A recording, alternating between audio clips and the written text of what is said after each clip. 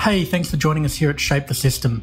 It's a podcast dedicated to sharing the stories of people who've helped shape the system for the better. We hope to tell these stories in the hope that will inspire more people to rethink the way the world works. Uh, hi, um, welcome, Annie. Thank you and welcome. I mean, not welcome, not start again. no, that's perfect. Let's keep going. Um, it's a pleasure to be here. Oh, amazing. we're, we're actually in Sydney today. Um, this is the first uh, recording we've done in person, so we're going to see how that goes. Um, Annie, I just want you to uh, just introduce yourself, tell everyone a little bit about a few of the things you're working on. It's not just the, the one thing. Uh, well, um, I'm Annie. I think the most exciting thing for me at the moment is that I became a grandmother last week. Amazing.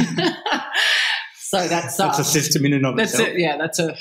Uh, what I'm mainly focused on. no, but I, have literally just come actually from a Can Too training program, okay. and this morning we were out at Bondi swimming. So I am the founder of, of Can Too, and really uh, Can Too is a not not for profit foundation that really focuses on people on transforming lives and getting people to move beyond their comfort zone and face fears into areas of their lives. And one of those is um, it's a it's a, achieving a goal in a physical space that they never imagined they could achieve. So today, for example, we had a lot of people down on the beach, men and women, who are even though they may have lived in Australia, their whole lives are terrified of of ocean swimming and right. facing those fears. And so we're down there training them in a in a group that's really supportive. There's a lot of connection, camaraderie, yep. fun, but it's still very goal oriented. And at the same time, those people, um, as a result of being part of the program and getting getting professional coaching with with um, with support from team captains and mentors and their buddies, are also uh, fundraising for cancer research. So it's a real win win. Mm. It's about getting people fitter and healthier and achieving goals right. for themselves with a greater purpose of raising funds for cancer research. Right. So I sort of look like it as it's prevention because we know one in three cancers is lifestyle related. So right. if you're out there getting fitter and healthier of mind and body, that's the prevention side. And by raising the funds, we are funding the researchers. Right. It's an amazing model. I think because we typically think of kind of foundations and nonprofits as someone goes and sells some Lamingtons over Mm. here. Um, I'm trying to think of what a US version of Lamingtons is. Cookies. Cookies, Uh, yeah. and Scouts uh, cookies. Scouts Girls cookies. Club, Girls girl, go. uh, girl guides So- or whatever it is. and they sell that over here, and then the money goes to the to the cause over here. And I think um, I think what was fascinating about this for me was this idea that uh, there's a whole bunch of uh, activities or actions or decisions that we make as individuals, and those impact our likelihood of getting the thing that we're ultimately trying to um, Mm. defeat as a higher order purpose. And I, I've never really come across that before. I want to. How, did you how did you arrive at this being the, the way to approach setting up the foundation? Well, I had lived in America, Right. and uh, you know a few things that have happened um, in my life, which I guess resulted in Can Too being set up. One, my father did die of cancer at 51, Right. um, which is young, obviously, and I'm one of seven kids. So that Seven? influ- yeah. Um, What number are you, me. by the way? I'm number two. I'm Um, not even sure what number two of seven feels like. Like well, I think it feels like the oldest I together. thought you had to step up to the other one. Yeah. Although we were all very close in age, so it didn't really make that much difference. Right. Six under six there was at one time. Wow. Um, but that happened, and then I ran a marathon with a similar sort of program to Can Too, Mhm. and I realised if I was going to run a marathon, I wanted it to be for something bigger than myself because Right. it was such a challenge for me that I, I want, but I wanted it to make more of a difference than just go out and do it for myself. Sure. And at the same time, my husband and I had been involved, involved in setting up the US affiliate of a biotech company, and Okay. that company had done really well financially. And so we were in a situation that we had never really expected to be in. And I believed that it was my turn to give back. Right. I am a social worker by training, so not sort of motivated by the bottom line at all. Right. Uh, and so found myself in this quite privileged position and felt rather than get a paid job when I moved back to Australia that I would set up Can Too. It's the sort of play on words. Can Too, Yeah. run a marathon. Can Too, cure cancer. Yeah. And I really didn't have any lofty goals at that point. I thought if I could get 25 people trained To run a marathon. to run a marathon and collectively they could raise $50,000, that would be great. But I did have very strong views on the culture of the organization and the values of the organization. And I think that comes from my one, my social work background, and also I would in setting up um, the company in America, I was involved in the whole HR culture side of it. Sure. And that is always what interests me. Right. In things. It's Why the people people do what they and do it- and yeah, motivation It's the people and- side. Yeah. Let's, let's I want to understand a bit more. We'll come back to some of that. I want to understand a bit more about about the values of the, of the foundation, the organisation. I guess these are a reflection of your own values as well. They are, they are, they are a reflection, but also they need to be in, you know, contextual, Right. for what Can Too is about. So our values are to inspire, motivate, support, and empower Right. people, Right. and so there are all those elements in it. Yep. Um, and in terms of it being, I don't see it as a fundraising foundation at all. Yeah. It's about moving beyond people beyond their comfort zone. It's about personal transformation. Right. The vehicle for that is, as I said, these physical achievements, which are also mental achievements. Sure. And then the the second side of that, or the byproduct of that, is we fundraise for a Right. greater purpose. So we're making a difference. It's not just about ourselves. Right. Right. Right. It's about a greater the greater community, and that's also the purpose. Yeah, and I think I mean if you've got a situation where you know you're only tackling one part of the problem, you're not really thinking about the the, the problem holistically. And so often, uh, if I think about a you know, and I'm contrasting this obviously with like a pure profit business, it doesn't you know think about how it operates in an ecosystem. And I think to paraphrase Elizabeth Warren, drive on the roads that Yeah. your taxes paid for, kind of thing. Mhm. And so you you know you're taking by pulling those two things apart and saying you actually need to like be thinking about this more holistically. And in fact, one is a byproduct of the other. Yeah. I think is a fascinating approach. Just on the um, this thing about the the motivating people to you know to to you know, push beyond themselves. What was the exact phrase you used? Move beyond their comfort Moving zone. on their comfort Yeah. zone. Is it is part of the thinking there in, in that if you can get someone to do that in a single context, like running a marathon or the people down on the beach today, that they then start to reevaluate the other changes that they're making in their life. Is that the behaviour you see? Totally. Right. So, I mean, I've seen that in thousands of circumstances, and we get m- many emails and people saying, you know, it's changed my life. Right. And I- I'll just give you some examples of that. um, one man who was, you know, in, in his 60s, who decided to do our Ocean Swim program, um, program and did the 1K, and he never imagined he could do that 1K. Once he'd done that, he realised he could do something else that he'd always wanted to do. And funnily enough, that was leave, to leave a large corporate bank and go and work in the not-for-profit sector Amazing. because he faced a fear that he'd never faced before, and so and another other young women who've run marathons or done the half marathon. So, for example, this one woman I'm thinking of, she I remember her when she was running. We were doing an 18k run, and she was crying at the Mm. end of it. And I said, "You know, why are you crying? What's what's happening for you here?" And she said, "It's just I can't believe it's me." I've had this negative self identity my whole life about not being able to achieve physical goals. I was the kid at school that always, you know, had the fake P Right. note. I was never the one picked for games. All of that stuff that she Right. sort of carried with her. Manifested. Yeah. And so if I can do this, I can go on and do my masters that I never thought I could do. Yeah. We had a lot of those sort of circumstances. What I always say is that can too, and it's a bit sort of cliched in a way, but it's like life. Right. There are It's highs like and life. lows. Yeah, Right. it's Okay. there are highs and lows in life, and Yeah. there are highs and lows in a can Cantu training program. You'll have a good run one day. You'll like today. We're out there. We had people literally, you know, almost in tears about the fear Yeah. of the ocean. Right. You can't control that, but you have to be able to to go through it. And what I also say to people is, you don't always have to like everything you do to achieve a goal. Right. Of course. And and often people think everything's got to be fun. Well, no, it, it's not always fun, and that's not life. Right. Right. Right. But other days you'll have a fantastic run or a fantastic swim, and, and you'll take those lessons.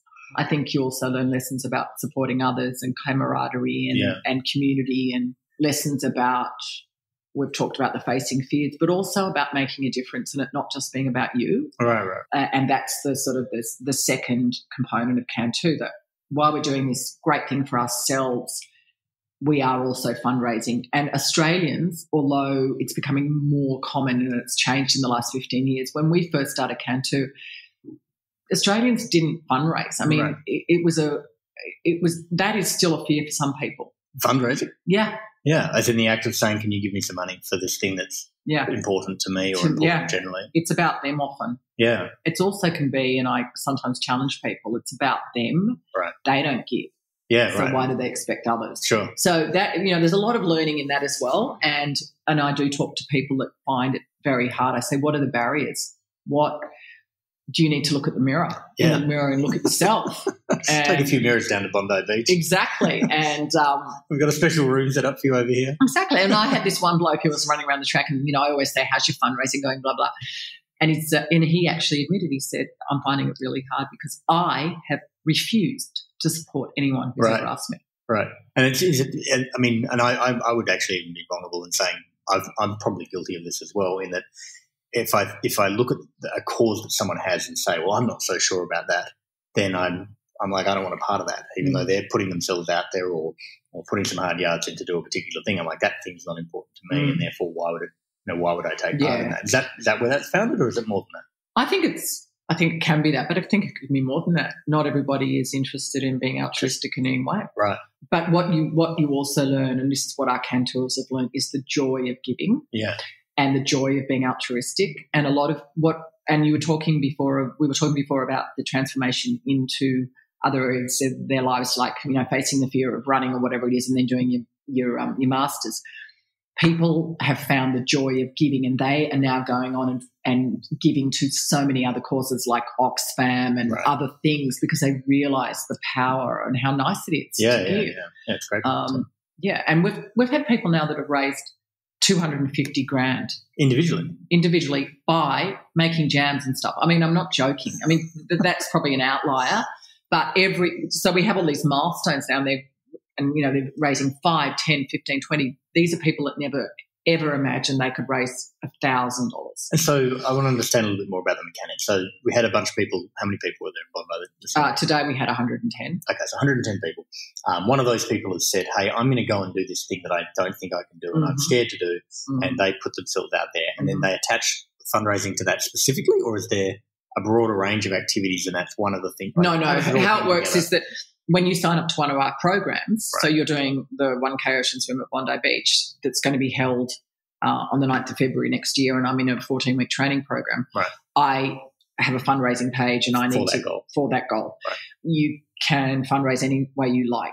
Some people, you know, send out the usual email and tell people that they're Right. achieving this goal.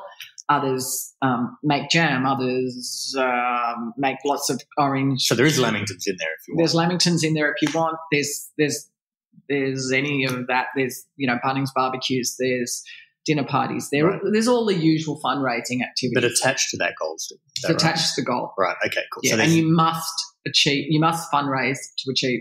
That's there's two goals. Right. One is to achieve your fundraising goal, Right. your target, and the other is to achieve the physical yeah. and mental goal. And do you think that when people are thinking about people on the other side of that who are, who are looking to donate to those things, uh, uh, is there a is there a kind of an attachment to or an interest in the, the you know the thing that the person's facing into? The person who's trying to raise the money is saying, "I am fearful of the ocean." To take Yeah. yeah. this morning example, for the, the sponsorship, you know, the, the donation is as much about you know acknowledging that they're leaning into that fear. Is that where a lot of this? I think it's both. So I think in. on one, some you know, some people will say, "My God, good on you." Right. Um, you know, we we don't have. Not all our people are athletes, and in Right. fact, most of them aren't. So you can have somebody as well who is not an 30 athlete, not an athlete, thirty k is overweight, right? and is saying, "I'm out there doing a half marathon," Right. And their friends are going, "Oh my God, Okay. I can't uh-huh. believe you! I'll you know, that." good on you." right. I couldn't do that. I wouldn't think of doing that. I'm supporting you for that. Sure. Others are saying, I'm not prepared to do it, and you're fundraising for cancer research. I'll support you for that. Right. So I think it's both. Some people are supporting the person Yeah. Yeah. and just saying, You're my buddy and I believe in you. Right. And I think that also can be one of the, the fears of people in the fundraising, their own self worth. Yeah. that Yeah. they're out there saying, I might, I'm going to do this and also I might fail. Yeah. So you, you're putting yourself out there. It's a whole bunch of fears. There's a whole lot of things going on because you're got to be accountable to the people that you ha- have said. You, you- you've told a whole lot of people, I'm going to achieve a goal. Right. So, and if you don't, And they don't get back both ways. well, there's shame in that. you Yeah, know, there's a whole lot of other stuff. So I actually always talk to people because sometimes you might get an injury the day of the event. It's about the journey. Right. It's not actually that day. It's Yeah. all that you've gone through to get there. It's all that training. It's all of the hours, the blood, sweat, and tears, and, and all of that activity. Got it. And then, so just coming back with I'm going to um, focusing on the word the journey. You talked about at the start. You know, I imagine this would be 25 people, 50 people running a marathon to raise 50 grand or 20 like that. Yeah, kind of yeah. So they- and then the scale we're at today. What talk me through that? Jeff. So, I mean, we, our people raise anywhere between about a thousand and, and two and a half thousand, depending on the length of the program. Right. So a marathoner raises um, two and a half thousand, I think it is now, and um, a 10k runner raises 1,000. Right. What I love about it is that Cantours, our incredible Cantours, have now raised almost $23 million and and and collectively. It's Yeah. the power of the collective. Yeah, We're all in this together. You know, one thousand dollars for some people is a lot of money, but it's not a huge amount. Right. Yet, if we all get in and behind something together, we're going to make a huge Yeah, difference. it's a massive difference. And I, I mean, in terms of the journey of, you know, getting from that first event, when was that? When, when was the first? In two thousand and five. 2005, and then through to now in 2000, in 2019, Mm. a week after becoming a grandmother. Yes, exactly. Not to bring you back in. Well, I want to understand that journey a bit more. Like how, what, like what were the, in terms of getting this to the thing where it has some critical mass, obviously that's had been away for a little while. Um, what were some of the key challenges in actually, like, you know, bringing this to life? You know, it wasn't a very difficult thing to bring to life in a way because Right. my goals weren't particularly lofty. So, but I had, as I said before, the strong idea about culture. right. So I think I always say, we, we well, I always knew I wanted to grow organically. Hmm. I wanted to keep the in- integrity of the culture. Right. I didn't want to build an empire. I didn't even think about the empire. I thought about, I think about every individual participant Mhm. and the quality of their of their experience. Yeah. And because we cared about the people and we care about the experience and we want it to be really good, it struck a chord with people Sure. and then you we we understood we, we created a template if you like that we could then just replicate Right. Right. and that's how it grew we also had the incredible support of the macquarie group foundation Okay. Because the way our model also works is that we want to have corporate partners and generous individuals and business partners who cover the costs of our coaches Okay. and our staff, which is now a major cost. Sure. Um, so that the money that our people raise go, goes the to, research thing. or and some of it does go to their training and you know I see that as health prevention Yeah. so it doesn't it doesn't concern me but we want it to go there so in terms of challenges that's the biggest challenge maintaining a model that's sustainable Right. and that, mo- that the majority of the money goes to research and being almost being true to that model and, and in a lot of respects, I think you used the word organic, Mm. um, knowing when to take that next step. Like you Mhm. started with a marathon, presumably. we started with the well 10K actually run. 10 half and a marathon all on Right. the same day Got it. but three different groups Three yes. different groups. Mm. And then somehow ocean swim Okay, so what- 2009. yeah. When did that? Um, that that wasn't a lot lot longer actually. Right. So running is my passion. I understood running. I can. I actually became a running coach as well. So, Right. but related to this or not related? no, no. After, after this, as a result, I wanted to become a coach. so you're doing a lot of running already. I was already a lot doing of other the people running. already like, you know what, I'm just going to label But this. we um but we have to, everyone's accredited. You're not allowed to just say I want to be a running coach. You, Right, okay. You've got to be trained. All our coaches are, are trained, accredited people, Sure. and that's because we want to have accountability. And also, we're getting people that are total beginners in something. They've got to have the skills, and Yeah, and absolutely. It, it's not just a running group. We're not. It's not what we are. Um, now I've forgotten what you asked me. Something about. Trying to understand how you went from, you know, the one event with the marathon. Oh yeah, that's right. to- So with the swimming, it was the exact opposite. So someone said to me after that, you've got to set up Can Cantu swim. You know, like this is working. And I, you know, because the running, I understood the culture of it. And I said, sure, but don't ever expect me to do an ocean swim.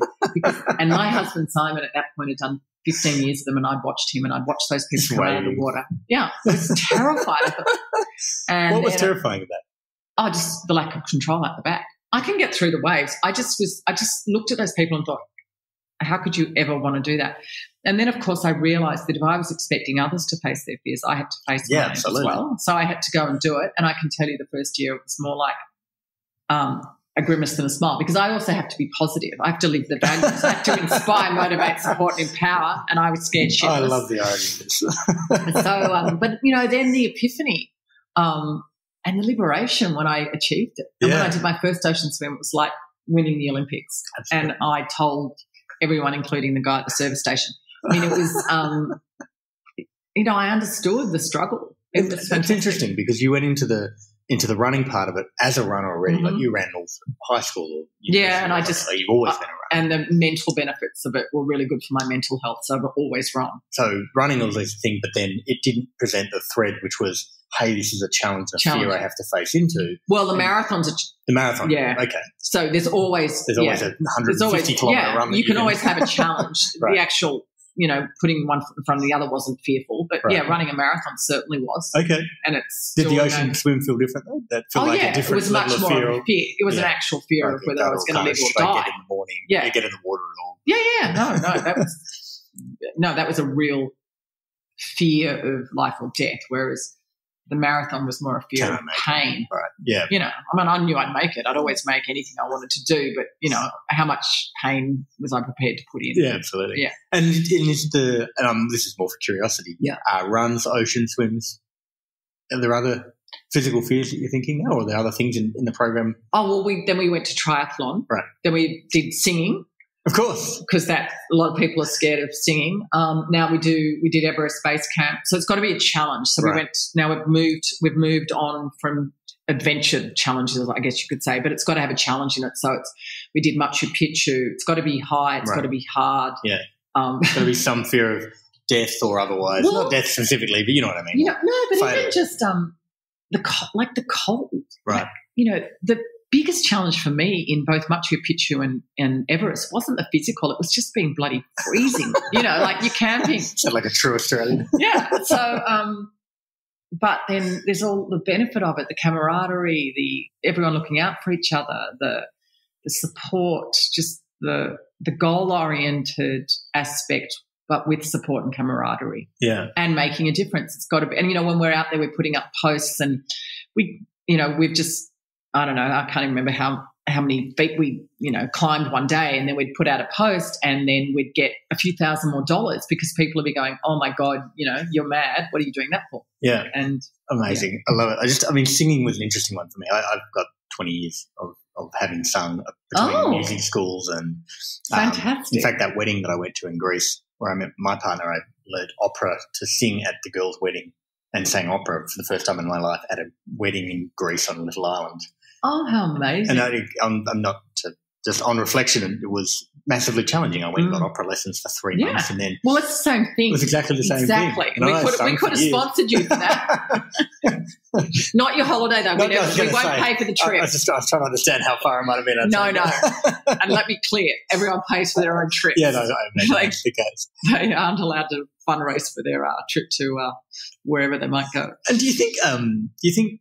I mean, because this is Australia focused. I mean, obviously you take these challenges elsewhere. It is Australia focused. Do you, is it? It sounds like it's a model that could be breathed into other places or other even It- other Look, approaches. it could be totally. Yeah. But what is so important to me is the integrity of the Right. culture of the program. So we go to when we go to new new like regional areas in Australia even we prefer to have a, what we call a champion somebody who's done the program before because we have team captains and mentors Yep. and they're there to support people. They're Right. just they're previous cantors that have done the program a couple of times that really espouse our values. And in lieu of them fundraising they are there supporting others. So um, we have our paid coaches but this is more the support roles and the ambassador or, or the, yeah, they're, they're the cultural ambassadors Right. of the program, and they. It, it's hard to set up Can Too without one of those people sure. because we can get coaches. That's not, Yeah, but yeah. it's got to be a special type of coach as well, Right. and we need people that breathe the culture into it. Yeah, So yeah, we could, and we've. I mean, seriously, we've got people living in Singapore now, and they often email us and say, "Look, why don't you set it up in Singapore?" And we've got people living all over the world now. Sure. We could, but there's so much opportunity here, yeah. and in terms of it being a not-for-profit, and where do we put our where do we put our, our money and our resources?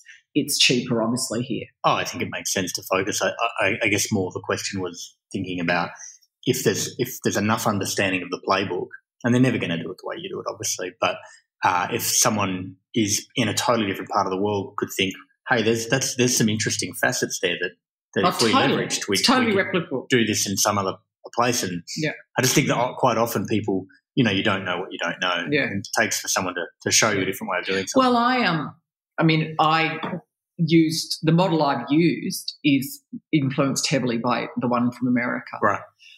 Although I think culturally we're a bit different and we you know we've added things in, but ostensibly it's, Yeah. it, that's where I got the idea from, and I knew we had nothing like it in Australia. Right. But I also had a much clearer idea about the culture I wanted to create, Yeah. and the people being the primary thing for And us. did you think that was a reflection of? I mean, we, we obviously a reflection of your values, but a reflection a little bit of how the Australian culture as well. What's the talk, talk me through this cultural narrative? Like you gave the four values, but um, what I guess what defines it in the way you set it up? to me, it's about the people, Right.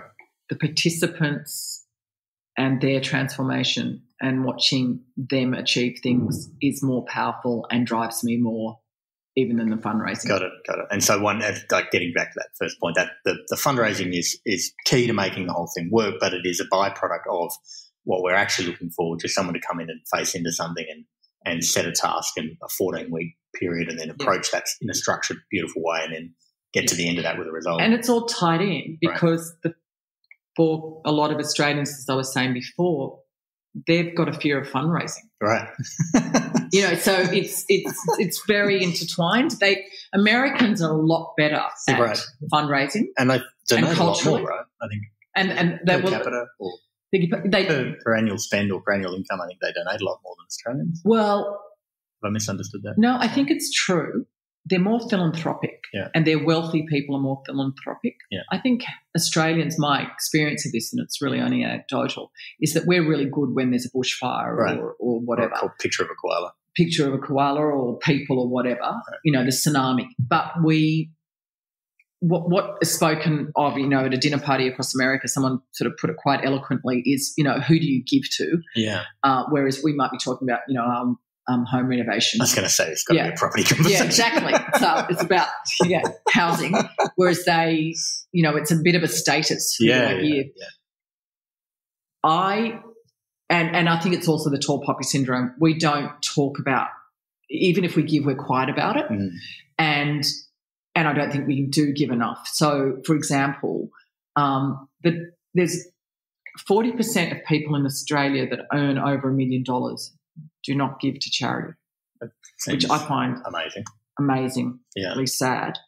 And so I think we do have a bit of a cultural shift needed. And that's where I was saying before about people learning the love of giving Mm. and the love of putting themselves out there and realizing that that too is a journey and that we can make a difference. Yeah. I think that is also inspiring in the Australian context. Yeah. Um, and people now going on and doing it in a whole lot of other different ways. Even like, so today I'm at the beach with one, with two of our, that they were doing the swim program for the first time. One of them happened to be a coach of our running program. They've become friends through the program. They've now set up where they're now doing running for good, Right. Okay. where they're running for the Wayside Chapel. Okay. You know, so they've learned the beauty of it Yeah. Yeah. And they're just magnifying it in, Ma- their own in a different way. Different way. different way. And so I'm sort of, I love that. And so, just taking this sort of um, more broadly than can too, you're operating within a you know particular part of an overall ecosystem. I'm interested in what else you're seeing here or overseas that like that you find fascinating or massively inspiring. Like it could be a person or it could be a, another foundation or another even a company. Well, I'm very quite well. My husband and I are quite supportive of quite a few different organisations Sure. because I I think social justice is one of my big um, passions, and it always has been um, ever since my sort of even social work days Social or work days, before, yeah. even really, e- especially around women's issues and equality. And Mhm. um, I worked in domestic violence and sexual assault, so that's always been areas of sort of passion for me. So one of the organisations that we're very involved in is Opportunity International, Okay. and that is about empowering women through microfinance in India and, and other parts of Asia. And we're also we are connected with St Jude's, which is another school in Africa you might have heard of, Yep. and uh, UNHCR. Um, What's UNHCR? Sorry, um, like I should know. no, you, God, you know, I always forget the name. It's for the refugees. Okay. oh Um, yeah, no, a refugee council. whatever it is. Yeah, I always forget the you know what The acronym. things stand for. Yeah, what they stand for. Uh, so we we are passionate about a whole lot of different areas in, that are much more around social justice issues. Yeah. And I think you know the Can Too model could also work for social justice issues as well. But I think it fits nice, you know, it fits really well with health because yeah, it's because it's doing something active related to health, which we know is good for our own health, right? And therefore, and it's also so that fits really well. But it could equally work with other other um, models. In terms of who inspires me, I think, I mean, might sound a bit cliche, but some, I, I'm always inspired by people that are prepared to live values where it actually hurts. Right. So where they're facing real fear of life or death or, or so like a Nelson Mandela. Right. Someone true to their story yeah, the entire and, time. And also that young woman now, Malala, who was shot yeah. by the Taliban. Yeah. You know, I just find people that are prepared to actually risk real their real life or livelihood. Yeah. Incredibly brave and courageous and and totally inspiring. They're, they're the people that inspire me, really. Yeah, amazing. Um, and just probably one final question: in in a world where there is a lot to be done, mm. uh, other than running, how do mm. you um, how do you how do you stay sane? How do you how do you stay on the level, and how do you and other than being a new grandmother, because that's probably part of it too. Well, I have to say, no, family, family, friends, yeah, community, and exercise. I'm not sure which order. It depends on the day. Uh, they're all, yeah, those things are all really important to me. That's yeah. amazing. Um, Annie, thank you so much for joining us. It was um, amazing to chat to you. It's a pleasure. Thank you for having me. Absolutely. Thanks for joining us here today. As always, if you know anyone who you think we should interview, please let us know. If you have any feedbacks on how to improve Shape the System, email us at feedback at shapethesystem.org.